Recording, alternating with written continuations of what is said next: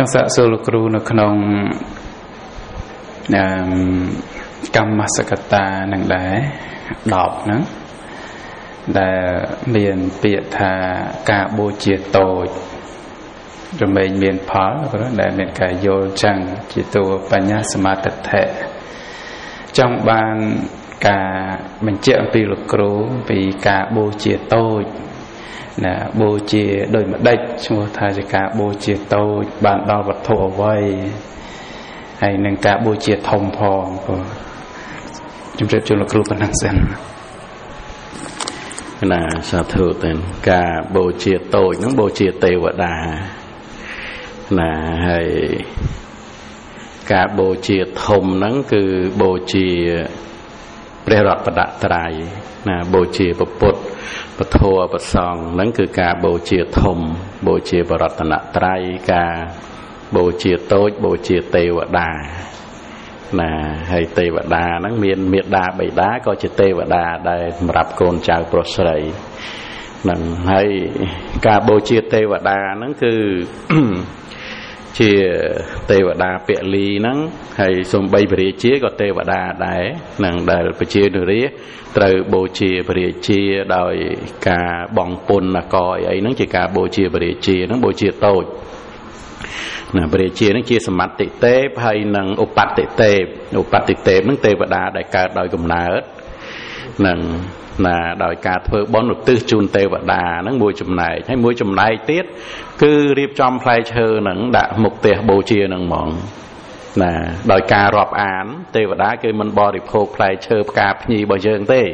នឹងក៏ប៉ុន្តែដោយការដែលយើងបូជាគេនឹងឯងគឺយើងរាប់អានគេគេក៏រាប់អានយើងគេក៏រក្សាយើងណាបូជាផ្កាភ្ញីផ្លែឈើអីហ្នឹងបូជាទេវតាហ្នឹងមិនមិនជាការឥតផលឡើយពីព្រោះនៅក្នុងទេវតាហ្នឹងមានគុណបានជាបានសម្រេចទៅជាទេវតាមានសទ្ធាសិលអឺ សតចាគៈបញ្ញបញ្ញាណាហ្នឹងគឺទេវតាហ្នឹងមានធัวណាណាណាមានទេវធัวអីជាដើម នៅក្នុងហ្នឹងហើយទេវតាហ្នឹងមានគុណត្រង់រក្សាសត្វលោកនឹងទេវតានឹងរក្សាសត្វលោកឲ្យមាននៅសេចក្តីសុខអីចឹងទៅក្នុងការមើលការខុសត្រូវដៅប្រាំងវសាភ្លៀងអីអីហ្នឹងចឹងហើយបានពេលដែលមនុស្សយើងវាកិលេសច្រើនពេកទៅទេវតានឹងខឹងណា ខឹងមិនដឹងធ្វើម៉េចទៅអត់មានចិត្តទៅលេងកីឡាអត់មានចិត្តទៅលេងកីឡាអញ្ចឹងទៅក៏អត់មានភ្លៀងមានផ្គរមិនត្រូវតាមការដោយសារមនុស្សនឹងអត់ធោណានៅពេលដែលមនុស្សនឹងសម្លាប់សត្វមួយមួយនឹងទេវតានឹងកន្ទុកកន្ទិញនឹងកើតទុកនឹងហើយមនុស្សនឹងឆ្លោះគ្នាទេវតានឹងក៏កើតទុកនេះណា ដូចសង្ឃប្រសង្ឃអីនៅក្នុងវត្តហ្នឹងឆ្លោះគ្នាមិនមែនកើតទុកតែប្រសង្ឃហ្នឹងទេវតាក៏កើតទុកដែរណាហ្នឹងបានថាអាការដែលបែកគ្នាហ្នឹងធ្វើឲ្យមនុស្សនិងទេវតានឹងកើតទុកសម្បើមហើយមិនកើតទុកត្រឹមទេវតាកើតទុកដល់ព្រំទៀតណាព្រំហ្នឹងក៏កើតទុកពីព្រោះវាវាមានអាការ យើងចង់និយាយថាបាក់ពួអីចឹងក៏បានដែរមានការកាន់មកចំហៀងមកចំហៀងណាណាកាន់គ្នាដូចក្នុងរឿងមនុស្សដែលក្នុងរឿងមង្គលសោត អញ្ចឹងឲ្យភិក្ខុក្រុងកោសំពីនោះចាស់នឹងឆ្លោះគ្នាហ្នឹងមិនមែនបែកគ្នាទៅភិក្ខុហ្នឹងបែកគ្នាទេវតាបែកគ្នាព្រំហ្នឹងទៅទៀតហ្នឹងអញ្ចឹងបានអឺព្រំក្តីទេវតាក្តីហ្នឹងដូចជាមេដាបៃតារបស់មនុស្សចឹងឯងនេះថែរក្សាមនុស្សហ្នឹងទៀតណាអញ្ចឹងគឺការបូជា តូចនឹងបូជាទេវតាហើយទេវតាក៏មានតាមលំដាប់អញ្ចឹងទៅហើយបើព្រះអរហន្តជាវិសុទ្ធិវិសុទ្ធិទេពពួកទេវតាមាន3វិសុទ្ធិទេពឧបតិទេពហើយនឹងសមត្ថិ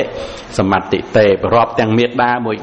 បីដាមួយទៀតគឺជាទេវតារបស់កូនចៅប្រុសស្រីដែលព្រះអង្គទ្រង់ត្រាស់សម្ដែងហើយជាទេវតាជាពព្រមជាអាហុណៃយបុគ្គលជាបុព្វាចារហ្នឹងអាហ្នឹងគឺដែលកូនចៅត្រូវបូជាហ្នឹងគឺបូជាតូចដល់តែពេលបូជាធំគឺព្រះរតនត្រ័យហ្នឹងហ្មងទៀតគឺពុទ្ធពធប្រសង់ពីព្រោះវត្ថុដែលក្រៃលែងជាងគេលើលោកនេះអត់មានវត្ថុណាដែលក្រៃលែងជាងបរតនត្រ័យទេវត្ថុជាអចិន្តយៈកាលណាដែលគេបានបូជាហើយបុណ្យរបស់បុគ្គលនោះក៏អចិន្តយៈដែរគិតឃើញទេទៀតអញ្ចឹងការបូជាតូចបូជាធំហ្នឹងហើយនេះកម្មសកតាសមាទិដ្ឋិនេះគឺការយល់ត្រូវថាការបូជាតូចមានផលការបូជាធំនឹងឯងមានផល ការដែលយល់ត្រូវនឹងគឺដោយកម្លាំងរបស់សទ្ធានឹងឯងប៉ុន្តែនឹងឲ្យជាក់ច្បាស់ក្នុងផលដូចអ្នកដែលមាននៅវិបស្សនាញាណហ្នឹងគឺអត់តន់មមតំទេពីព្រោះអត់តន់ឃើញធម៌ដែលកើតអំពីបច្ច័យតែនៅក្នុងបញ្ញានឹងគឺជាបញ្ញាដែលមានសទ្ធានឹងឯងគឺជាប្រធានណាជាកម្លាំងនៅក្នុងការដែលមានការយល់ត្រូវហ្នឹងណាហ្នឹងគឺខ្ញុំកណ្ដាប្រកេនព្រះអង្គគ្រូ ពោសូមអរគុណចំពោះលោកគ្រូហើយចង់ភ្ជាប់នឹងសេចក្តីហ្នឹងចង់សួរថា ចំពោះព្រះរតនត្រ័យដែលមានពុទ្ធប្រធមប្រសងហ្នឹងគឺថាជាអចិន្តយៈវត្ថុណាការគោរពបូជានឹងគឺរមែងមានផលច្រើន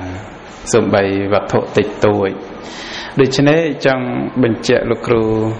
បន្តិចទេនៅត្រង់ថាសូម្បីតែកិរិយានៃការថ្វាយបង្គំចំពោះព្រះរតនត្រ័យណារីករាយជ្រះថ្លាស្ដាប់ពធលើកដៃសំពះជ្រះថ្លាក្នុងគុណពុទ្ធចឹងទៅក៏គោរពនមស្ការជ្រះថ្លាគុណប្រសងក៏ដល់នឹងការក្រាបថ្វាយបង្គំដោយមិនគិតពីការប្រឡាក់សម្ពុតសម្លៀកបំពាក់អញ្ចឹងត្រឹមតែកិរិយាប៉ុណ្ណេះឈ្មោះថាការបូជាធំដែរចឹងណាគ្រូឬក៏យ៉ាងណា ណាត្រឹមតែប៉ុណ្ណឹងក៏ជាការបូជាធំហើយណាគឺដោយអាមិសៈបូជាហើយក្រៃលែងហ្នឹងគឺបដិបត្តិបូជាប៉ុន្តែនៅក្នុងរឿងកម្មសកតានេះមិនពោលដល់ការបដិបត្តិបូជាទេណាគឺដោយការក្រាបសំពះគងអញ្ជលីការកម្រងគ្រឿងកោបការលើកដំកើងតម្កល់អីសពគ្រប់បែបយ៉ាងនឹងឯងហ្នឹងគឺជាការបូជាធំណាហ្នឹងគឺបូជាហើយណាប្រកេន ពោជាក់ច្បាស់ហើយសូមអរគុណចំពោះលោកគ្រូនឹកឃើញដល់ពាក្យមួយដែលធ្លាប់បានស្ដាប់មកអីហ្នឹងក៏យូរយាដែរហើយហើយក៏ក្នុងឱកាសពេលនេះចង់បានការបញ្ជាក់អំពីលោកគ្រូបន្តិចអំពីរឿងធ្វើទៀនធ្លាប់បានស្ដាប់ចឹងមករឿងត្រង់ថាការធ្វើទៀនមិនជាប់តេតងអាស្រ័យទៅលើវត្ថុអីច្រើនច្រើននោះទេ គឺសំខាន់នៅលើត្រង់ថាតើលះបាបបានប៉ុណ្ណាតែឈ្មោះថាបានបនច្រើនណាគ្រូណាសំខាន់នៅលើការលះបាបចិត្តជាប់ជំពាក់មិនឲ្យសំខាន់ធ្ងន់ទៅលើតេយ្យវត្ថុតើសេចក្តីនេះពុទ្ធបរិស័ទយើងទាំងអស់ដែលជាអ្នកមានអធិស្រ័យនៅក្នុងការធ្វើទាននេះក៏បីយល់ធួនឹងបានយ៉ាងណាលោកគ្រូក៏សូមគ្រប់ជើ ណាសាធុទើនសូមក្តីអនុញ្ញាតពីគុណចាស់នៅក្នុងសេចក្តីនេះតេតួងដល់កលបុត្រនោះដែលមានបញ្ញាឃើញថាសេចក្តីកំណាញ់គឺជាមន្ទិលរបស់ចិត្តលុះត្រាតែឃើញអញ្ចឹងបានទៀនរបស់បុគ្គលហ្នឹង គឺថាប្រព្រឹត្តទៅដើម្បីកំចាត់បងនៅសេចក្តីកំណាញ់បើមិនតាន់ឃើញសេចក្តីកំណាញ់គឺជាមន្ទិលរបស់ចិត្តទេទានរបស់បុគ្គលនោះច្រើនតែប្រាថ្នាភពផ្សេងផ្សេងទៅ វាមិនមានអាការផ្ដោតទៅដើម្បីកំចាត់បងនៅមច្ឆរយៈទេណាដូចជាមច្ឆរយៈ5អាវាសការកំណាញ់អាវាសណាកំណាញ់អាវាសហ្នឹងមានលក្ខណៈយ៉ាងម៉េចគឺអត់ធន់នឹងអ្នកដតីមិននៅក្នុងអាវាសហ្នឹងអត់បានអត់ធន់មិនបាន កាលដែលអ្នកដតីមកនៅក្នុងអាវាសហ្នឹងអត់ធន់អត់បានហ្នឹងហៅថាកំណាញ់អាវាសហើយកំណាញ់លៀបអត់ធន់នឹងអ្នកដតីបានលៀបនឹងអត់ធន់មិនបានឃើញគេបានលៀបទ្រាំវាអត់បានណាហើយកំណាញ់យោះណាអាហ្នឹងគឺឃើញអ្នកដតីបានយោះហ្នឹងទ្រាំអត់បាន កំណាញ់វណ្ណៈនឹងឃើញថាគេសរសើរអ្នកដតីហ្នឹងគឺទ្រាំអត់បាន អត់ធន់មិនបាននៅក្នុងការដែលអ្នកដតីបានការសរសើរហើយនឹងកំណាញ់ធัวហ្នឹងគឺមិនចង់ឲ្យអ្នកដតីចេះធัวហ្នឹងកំណាញ់ធัวនឹងចឹងអាសេចក្តីអត់ធន់មិនបានអាការមិនចង់ឲ្យអ្នកដតីណាបាននេះហ្នឹងអាហ្នឹងគឺវាជាមន្ទិលរបស់ចិត្តនឹងធ្វើឲ្យចិត្តហ្នឹងមិនស្អាតមិនមិនសៅมองណាដូចជាសម្ពុតដែលត្រូវប្រឡាក់អញ្ចឹងឬក៏ដូចជាទឹកដែលវាត្រូវលាយទៅដោយភក់អញ្ចឹង ណាអញ្ចឹងទៅលោកឃើញទោសហ្នឹងអញ្ចឹងគឺការដែលលោកព្យាយាមដើម្បីលះបង់អ្វីមួយមិនថារបស់នោះបណ្ឌិតក្តីកណ្ដាលក្តីឬក៏ថាមិនបណ្ឌិតនឹងក្តីទេការដែលធ្វើហ្នឹងគឺប្រព្រឹត្តទៅដើម្បីជាការដោះខាត់ចិត្តជាការសម្អាតចិត្តទានហ្នឹងគឺជាទានមានផលច្រើនណាជាងការធ្វើទានតាមសពបរោះ ណាមានផលច្រើនជាងការធ្វើទានដើម្បីរក្សាតកូលណាជាងការធ្វើទានដើម្បីឲ្យអ្នកដតីបានសេចក្តីសុខជាងការធ្វើទានដើម្បីប្រាថ្នាទ្រព្យហើយនឹងទានដែលបានផលច្រើនមួយទៀតគឺពិចារណាសង្ខារធម៌មិនទៀងហើយធ្វើទានណាទាននេះឯងគឺជាទានមានផលច្រើនហ្នឹងណាអញ្ចឹងគឺតកតងទៅនឹងបុគ្គលដែល ធ្វើទៀនទូបីរបស់សៅមងហើយដើម្បីនឹងមានផលច្រើនលះបង់នៅកិលេសហ្នឹងគឺជាការដែលបុគ្គលហ្នឹងឃើញនៅសេចក្តីកំណាញ់ជាមន្ទិលរបស់ចិត្តចំណុចសំខាន់ត្រង់កន្លែងហ្នឹងទៅទានរបស់បុគ្គលហ្នឹងប្រព្រឹត្តទៅដើម្បីជាការកំចាត់បងនៅសេចក្តីកំណាញ់ដើម្បីកំចាត់បងនៅមន្ទិលរបស់ចិត្តណានឹងឯងគឺជាទានដែលមានផលច្រើនអញ្ចឹងកណាប្រកេនអង្គចំ ពោះសូមអរគុណចំពោះលោកគ្រូម្ដងទៀតណែដូច្នេះពុទ្ធបរិស័ទបានស្ដាប់ពីរឿងការធ្វើទានត្រូវតែជាអ្នកឆ្លាតណាឲ្យបានមានផលច្រើនណាហើយនឹងអានិសង្សច្រើនរឿងផលច្រើនហ្នឹងក៏ឃើញមានសម្ដែង នៅក្នុងអត្ថកថាបបញ្ចសូតនីហ្នឹងចឹងហើយ គឺផលរបស់ទានហ្នឹងគឺឲ្យបានកើតក្នុងទេវលោកអីវែងវែងរាប់កាប់សែនកាប់អីណោះណាហ្នឹងគឺជាផលរបស់ទាន ដែលឲ្យកើតក្នុងកំណើតសុគតិសួរឈ្មោះថាមហបលា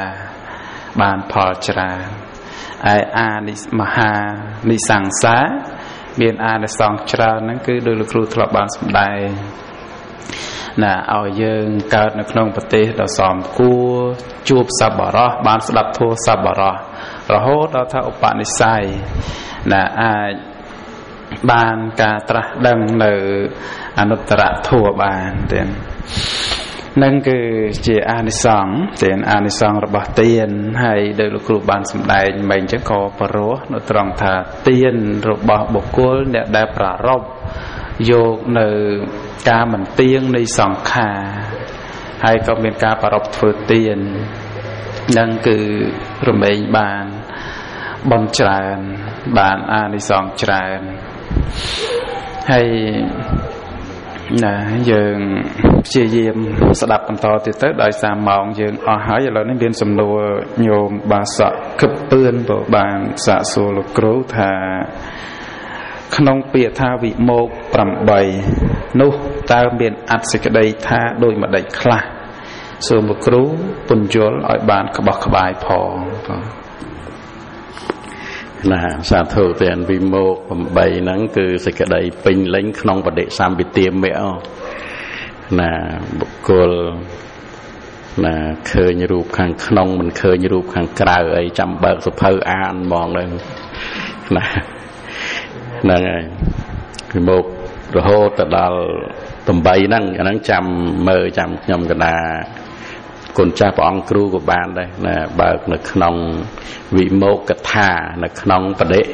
សម្ពិទាមៈនឹងឲ្យចាំពាក្យពុស្ដាទាំងអស់អត់ចាំនេះអញ្ចឹងដល់ទៅពាក្យសិនណានៅក្នុងវិមោក8ហ្នឹងទៀតកណាអត់សូវបានសម្ដែងទៅវាអត់ចាំទេបើគាត់អត់ដឹងកម្ពីធ្លាប់អានធ្លាប់រតនាដាក់នៅក្នុងខ្សែអត្តនឹងដែរតែក៏ ណាចង្កាលធัวខ្លះទៅវាអត់មាននៅក្នុងវិស័យវាផុតវិស័យយើងអីចឹងទៅ ជាឧត្តរមនុស្សធម៌អីដូចជាឈានដូចជាអីចឹងទៅក៏មិនសូវបានគិតគូរក៏មិនសូវចាំដែរណាគ្រាន់តែអង្កលចាំចាំទៅយូរយូរទៅភ្លេចវិញបាត់ណាប៉ុន្តែបើយើងបានចេះទៅក៏ជាការល្អទៀតហ្នឹងនៅក្នុងបដិសម្ពិទាមៈក្នុងវិមោក8 ហ្នឹងក៏មានវិមោក3អីហ្នឹងក៏មានណានៅក្នុងហ្នឹងទៀតអញ្ចឹងប៉ុណ្ណឹងចាំបើកភៅមើលហ្មងអើយច្បាស់កណាអញ្ចឹងពេលវេលាក៏អស់ហើយទេណាណាចាស់អស់ហើយណាសូមអនុមោទនី